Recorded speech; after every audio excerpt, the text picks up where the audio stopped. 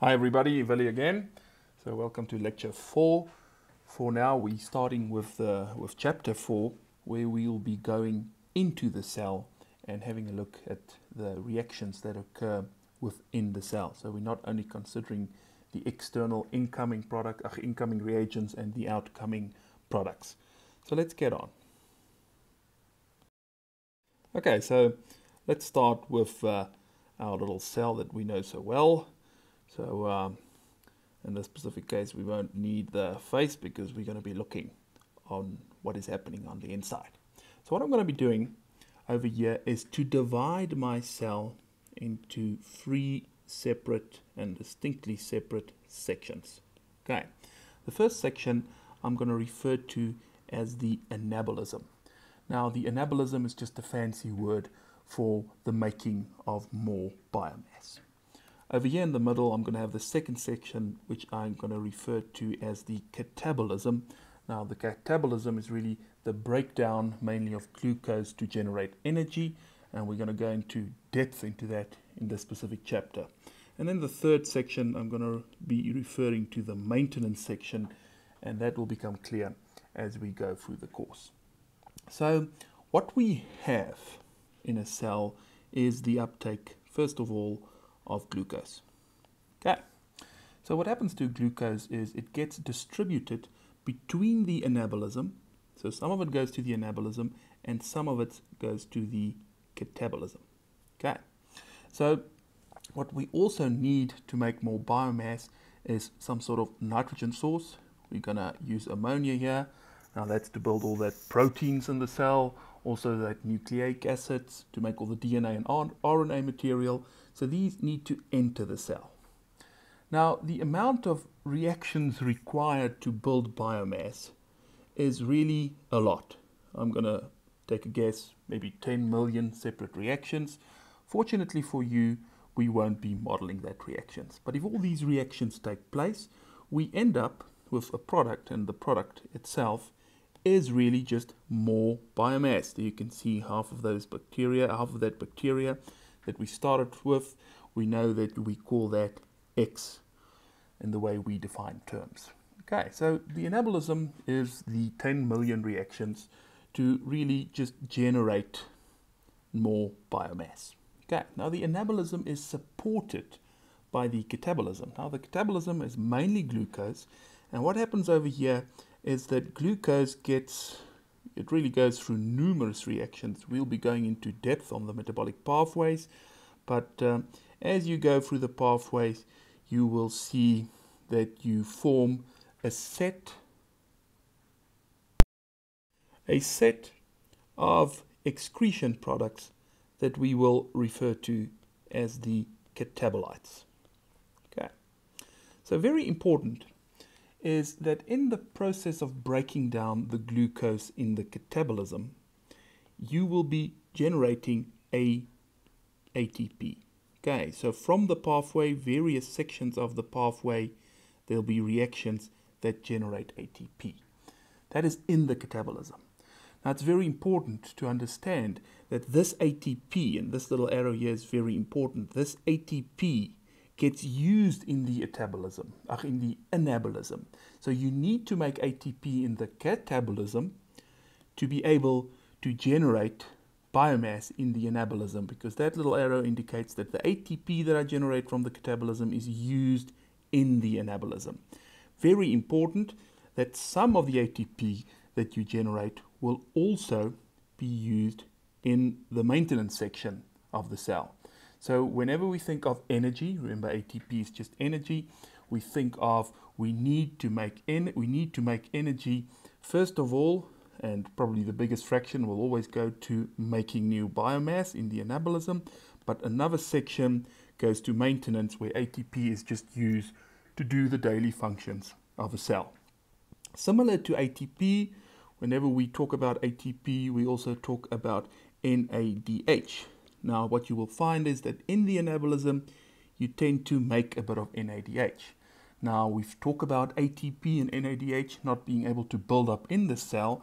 So this NADH produced in the anabolism will now be consumed somewhere in the catabolism. Okay, because we have an ATP balance and we have an NADH balance. So this is more or less what happens in a cell. What we can do now is, and I'm just going to make this slightly smaller to create some space for myself, is to really, uh, okay, to really model the separate sections of the cell almost like an overall equation. So for starters, I'll be focusing on the anabolism. I'm just coloring this section in white and I'll be describing this half a cell reaction as the anabolism. Okay, so what we have in the anabolism, and we can really take this white part out, that's the wrong one. Um, so we can take this white part and we can write the equation as follow. Basically, what we have is glucose. Um, we need to put a nitrogen source in, so we have ammonia. And then very importantly, we are referring to that little red arrow there. We need to add ATP before we can make, and the products will be mainly biomass, but we've also we will also see that CO2 is a common product, and what we also have is a bit of NADH that we make, and that's the NADH that I've just shown you there. So this, this in a sense, is not an overall reaction like we used to, because it's the reason why it's not an overall reaction over the cell is because if we have a look at this, at, um, at ATP over here, that is not something that can be excreted, neither is NADH. So these will be balanced by reactions on either the catabolism or the maintenance. So let's move on. I'm just going to pick myself another color here. So now I'm interested in describing the overall reaction of the catabolism. So I'm just going to use a different color here. That looks very similar to my old color.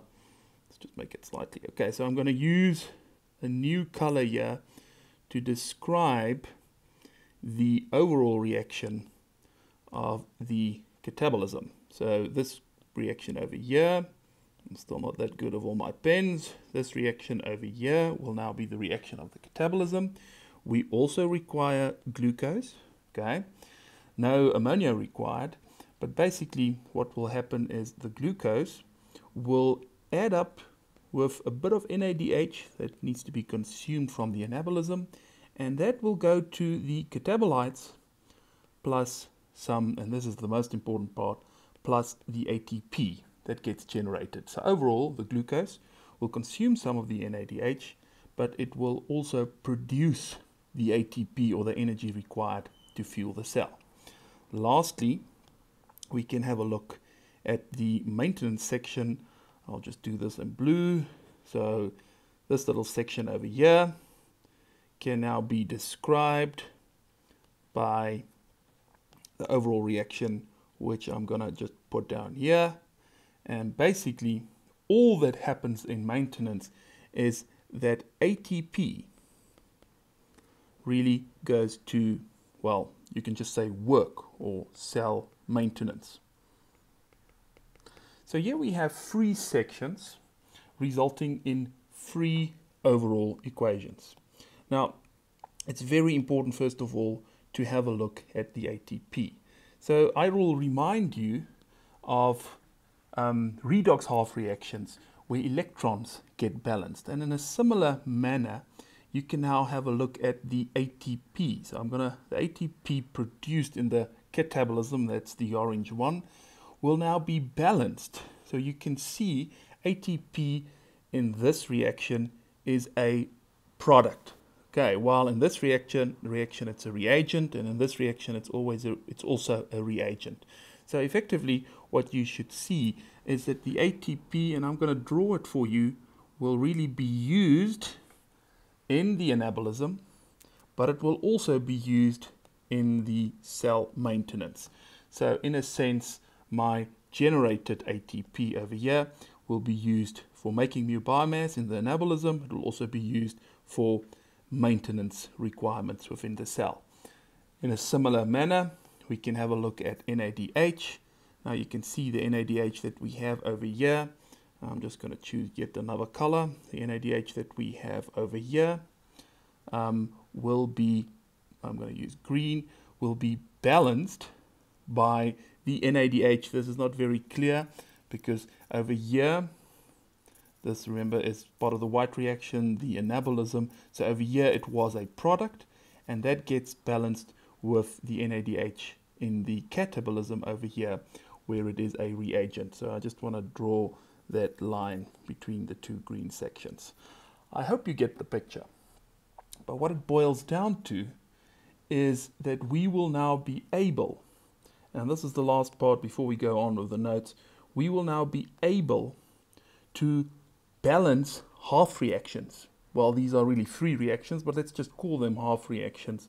So in our first part of this chapter, we'll be looking at this specific reaction, the anabolism, where we make biomass. Just very important to understand that the NADH over here and the ATP that we will be forming will be internal products that needs to be balanced by other equations also happening within the cell. I hope this is helpful. I'll see you later.